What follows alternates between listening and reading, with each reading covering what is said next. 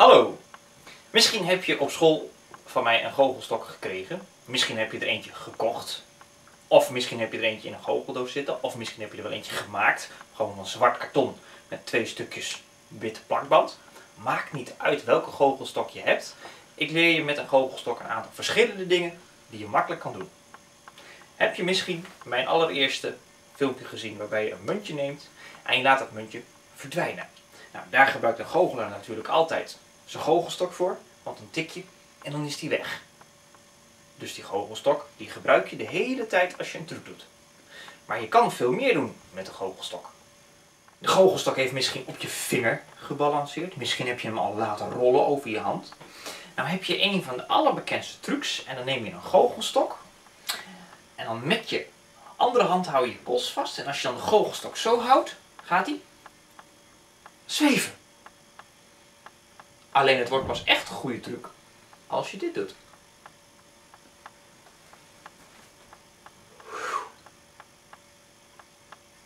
En dan is de truc klaar.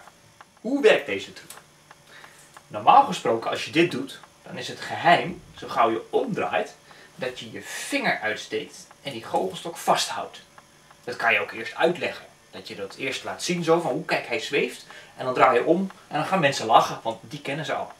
Maar nu wordt het pas echt gek als jij je hand weghaalt. En hij blijft ze echt zweven. En wat je hiervoor nodig hebt, is een beetje plakband. Dat plakband, dat doe je om je vinger met de plakkant naar buiten toe. Mag ook om de goochelstok. Maakt niet uit. En als je nu de goochelstok op het plakband legt, hier zo, dan blijft die hangen. Moet je niet vaker dan één keer doen, want hij wordt steeds minder sterk. Dan gaat hij eraf vallen. Als je nou denkt, maar dat plakband is goed te zien en ik wil nog een truc doen, dan kan je er ook voor kiezen om handschoentjes aan te doen. Je hebt uh, hele goedkope handschoentjes, van die witte handschoentjes, wat goochelaars ook aan hebben.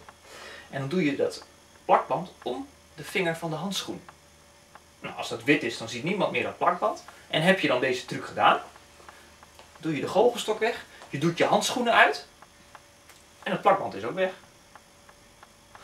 Of je maakt een tweede goochelstok, je doet het plakband om de goochelstok, je laat hem hangen en vervolgens leg je hem weg en als je weer een goochelstok pakt, pak je een andere.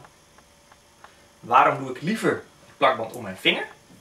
Als ik hem zo neerleg en ik laat hem hangen, kan niemand hier plakband zien. Terwijl als je een gele goochelstok hebt met een plakbandje eromheen, dat zien mensen. Maar heb je een gewone uit een goocheldoos die zwart is, dan zien ze het vaak weer niet. Nog een voordeel van het plakband op je vinger. Je kan hem van tevoren eerst aan mensen laten zien. Ze kunnen hem ook voelen. Je kunt het laten zweven.